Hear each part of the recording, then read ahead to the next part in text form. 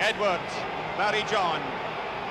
Nicely along from Hall to John Dawes. This is Bevan inside Steele, beautifully tackled by Ray. Kicked on by John Taylor. Put on by Barry John. Can John make it? This would be a remarkable score.